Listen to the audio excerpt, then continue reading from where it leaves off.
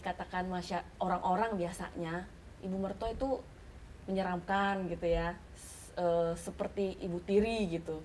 Tapi dulu memang saya punya konsep seperti itu gitu. Wah takut nih gitu.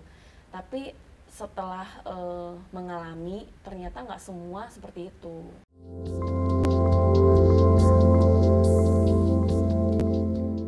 Setelah menikah ibu sebenarnya udah ada dua gitu ya satu ibu kandung satu ibu mertua.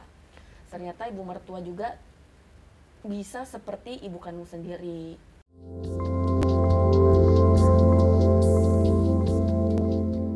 Jadi kalau ke restoran atau lagi pergi makan selalu mami selalu inget saya sukanya apa?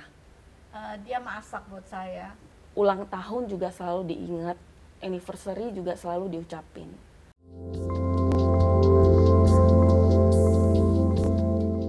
selamat hari mama ya mi.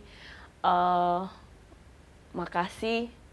Biarpun mami itu bukan ibu kandung aku tapi itu bukan berarti saya nggak sayang mami